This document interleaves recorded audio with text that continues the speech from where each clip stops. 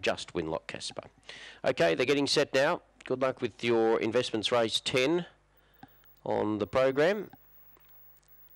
And uh, runners are moving in pretty well here for the Ballarat Volkswagen event. Just about set. 390 metres. The journey, there's your green light. Set to go.